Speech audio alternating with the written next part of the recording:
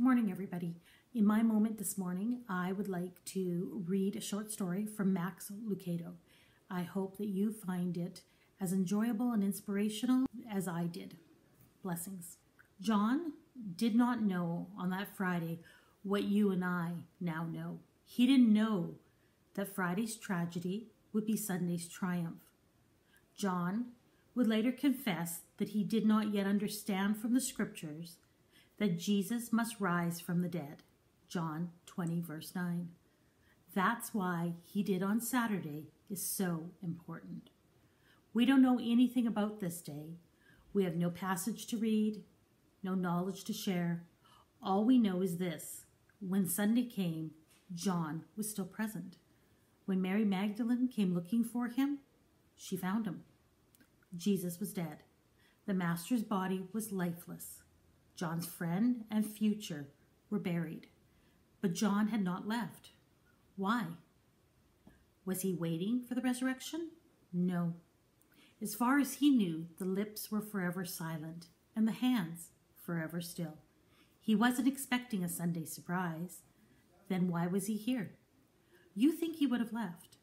Who was to say that the men who crucified Christ would not come after him? The crowds were pleased with one crucifixion. The religious leaders might have called for more. Why did John not get out of town? Perhaps the answer was pragmatic. Perhaps he was taking care of Jesus' mother. Or perhaps he didn't have anywhere else to go. Could it be that he didn't have any money, or energy, or direction, or all of the above? Or maybe he lingered because he loved Jesus. To others, Jesus was a miracle worker. To others, Jesus was a master teacher. To others, Jesus was hope of Israel.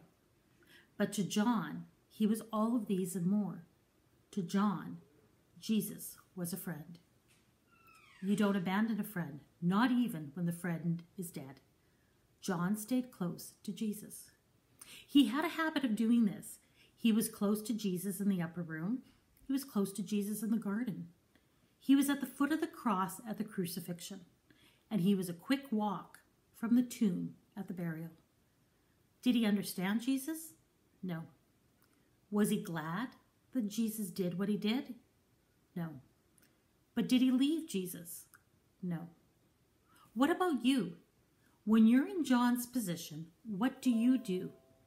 When you are somewhere between yesterday's tragedy and tomorrow's triumph, what do you do?